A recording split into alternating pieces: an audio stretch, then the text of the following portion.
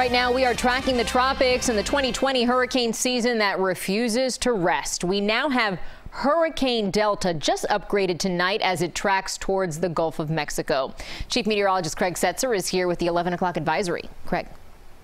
Yeah, no good news, unfortunately, because the storm is strengthening this evening. An indication of that is the pressure, which has been falling. The winds are coming up in response to that. Winds now 80 miles an hour, moving to the west northwest at 7. Category 1, about 200 or so miles south of the Cayman Islands there.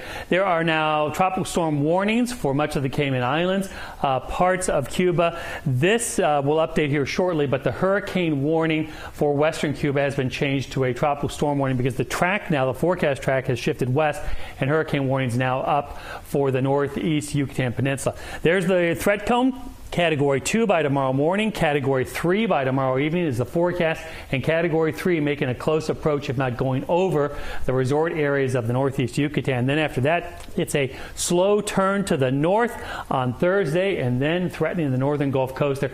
It is expected to weaken a little bit as there's wind shear and cooler water temperatures up here, but still could be a powerful hurricane by the time it reaches the northern Gulf Coast there. This is late in the week. That's the Friday afternoon position and then on to the north. Here's the way it's looked through the evening evening. The uh, Air Force Reserve hurricane hunters have been investigating it. They've found that it has been uh, getting stronger, and indications are that the wind shear is low, the water is very, very warm, and it's likely to continue to strengthen and strengthen rather quickly as it moves to the northwest. In terms of our effects, we're just going to see a little more breeze in the coming days and showers blowing in on the breeze. You can see that activity out there tonight blowing by. So a few showers the next few days. Thankfully, not dealing with a hurricane here. More on that forecast coming up.